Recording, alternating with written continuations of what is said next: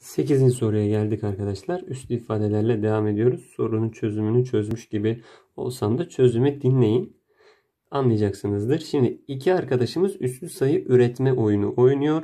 Kuralları da söylemiş. Emre iki basamaklı bir sayı söylüyor. Rüya kırmızı veya mavi renklerden birini seçiyormuş.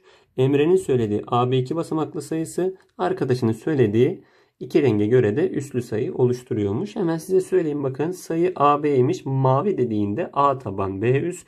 Kırmızı dediğinde de bu sefer tam tersi B taban A üst olmuş. Bize ne demiş? XY sayısını söylemiş. Sırasıyla da mavi ve kırmızı demiş. Önce mavi söylediğine göre XY mavi olursa arkadaşlar buradan X taban Y üst olacak.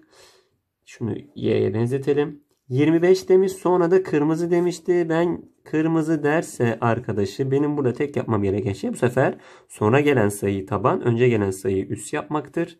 Bu ikisinin toplamının da 26 olduğunu söylemiş. Bize x, y hangisi olamaz diyor soruda. Toplayalım. x'in y kuvveti artı 5'in karesi eşittir 26.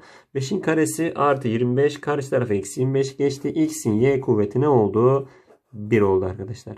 Hangi şıktaki gibi olamaz? A şık olabilir. Mesela 19. 1'in 9. kuvveti olacaktır. 1 olur. B şık olabilir mi? 2'nin 0. kuvveti olur. 1 olur. Ama C seçeneği olamaz. 2'nin 1. kuvveti ne olur? 2 olur. Ben 1 olmasını istiyordum. O yüzden doğru seçeneğimiz bu soruda C seçeneği oldu arkadaşlar.